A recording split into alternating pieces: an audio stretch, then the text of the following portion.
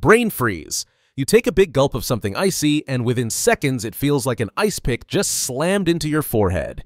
That sudden stabbing sensation is what we call brain freeze. It happens when extreme cold hits the roof of your mouth and shocks the delicate blood vessels underneath. They tighten up in response, then rebound by widening almost immediately. This rapid change fires off pain signals that travel along nerves toward your brain, which mistakenly tags the pain as coming from your head rather than your mouth. The result is a headache so sudden and intense, it feels as if your brain itself has frozen solid. This misrouting of signals happens because sensory pathways overlap. The trigeminal nerve, responsible for feeling in the face and head, becomes involved when the palate is shocked with extreme cold. The brain struggles to correctly assign the source of pain, so you get that sharp, icy jab in the forehead. It's not dangerous, and it usually passes within seconds, but it's a clear example of how your body's wiring can misfire under unusual conditions. Hypnic jerks. As you drift off to sleep, your body suddenly jolts, arms flail, legs kick, and sometimes you even wake yourself with a startled grunt. These are hypnic jerks, involuntary muscle contractions that strike during the transition from wakefulness to sleep. When your body relaxes deeply, your brain can misinterpret the signals as a sign of falling. In response, it sends a surge of activity through your nerves, snapping your muscles into action as if to catch yourself from a drop. Some researchers believe hypnic jerks are a leftover evolutionary reflex. For our ancestors who slept in trees or elevated shelters, a sudden loss of muscle tension could have meant slipping from a branch. A jolt at the edge of sleep might have been a built-in safety net to prevent a fall. Today they are harmless, but the experience can be unnerving. Your body isn't malfunctioning, it's simply running an outdated protective program written long before mattresses and pillows existed. Goosebumps. When a sudden chill runs across your skin or an intense piece of music swells, tiny bumps rise on your arms. These goosebumps are the result of minuscule muscles at the base of your hair follicles, called arrector pili, contracting automatically. This reflex is controlled by the sympathetic nervous system, the part of your body that also triggers fight or flight responses. When the muscles tighten, each hair is pulled upright, creating the characteristic raised texture across your skin. In early humans and animals with thicker body hair, this reaction served two purposes trapping more air to create insulation in the cold, and making the body appear larger when threatened.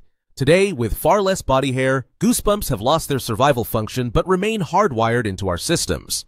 The fact that they can be triggered by both temperature changes and emotional intensity shows how tightly linked physical and psychological responses are in the human body.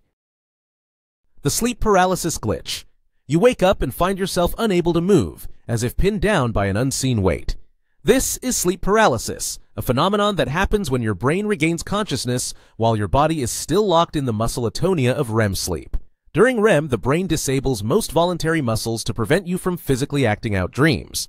But sometimes the waking process and the muscle release fall out of sync.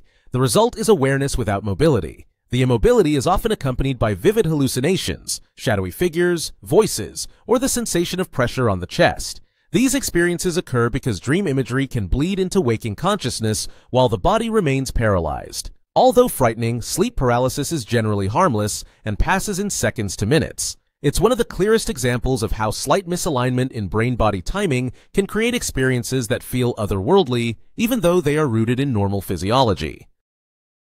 Deja vu. Walking into a room you've never seen before can suddenly feel strangely familiar, as though you've already experienced the moment. This uncanny glitch called deja vu is the result of a temporary error in the way your memory systems communicate.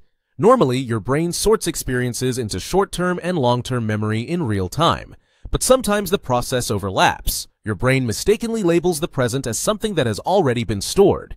The event feels like a memory even though it is happening for the first time.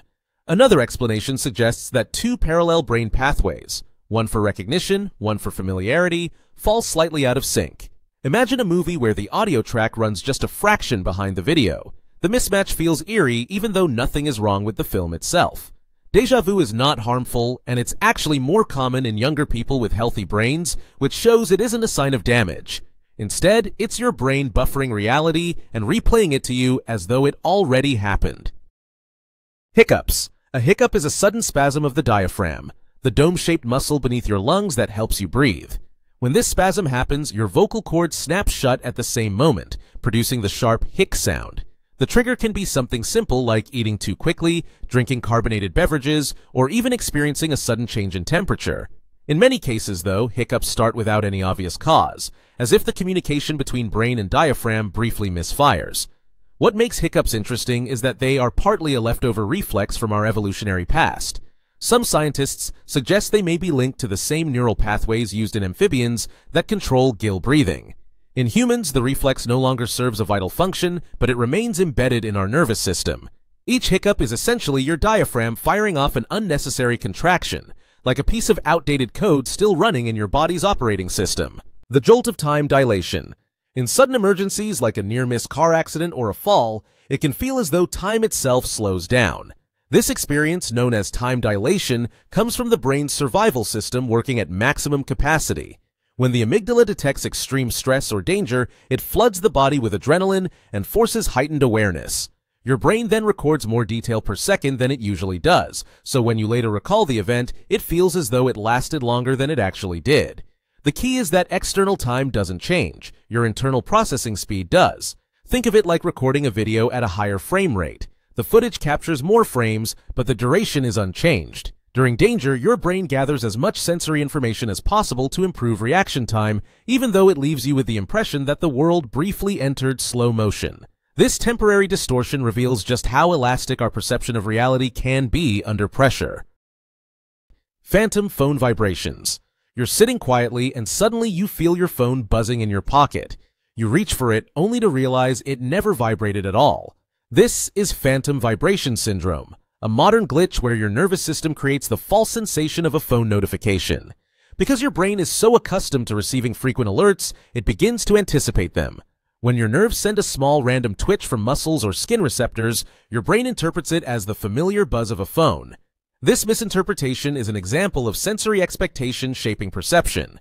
Just like Pavlov's dog salivated at the sound of a bell, your body now associates certain minor sensations with incoming digital signals. Over time, your brain can trick you into perceiving vibrations even when your phone is turned off or not on your body. It's not a disorder. Rather, it's a byproduct of how tightly modern habits become wired into our nervous system. Eye floaters.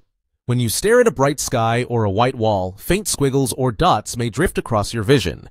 These are eye floaters, and they come from tiny bits of collagen or cellular debris suspended in the vitreous humor, the gel-like substance filling the eye. As light enters, these particles cast shadows on your retina, which your brain interprets as moving shapes. Because they drift with the movement of your eyes, you can't look at them directly. They seem to dart away when you try to focus on them.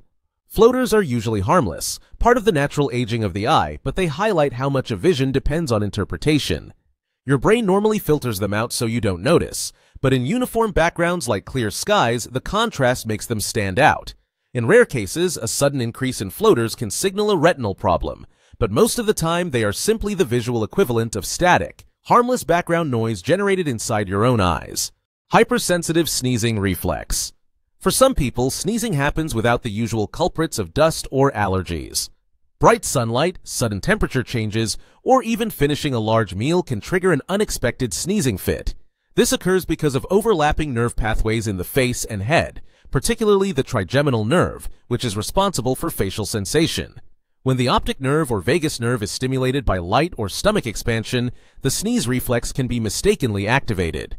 One of the most fascinating versions is the photic sneeze reflex, where exposure to sudden bright light makes someone sneeze. Around 1 in 5 people experience this, showing how common the wiring mix-up is. Another rare form is called snatiation, where sneezing follows a full stomach. These glitches show just how interconnected the body's systems are. Stimulating one nerve can unexpectedly trigger another, making the sneeze reflex fire even when there's no irritant to expel. Don't just watch the world, subscribe and understand it.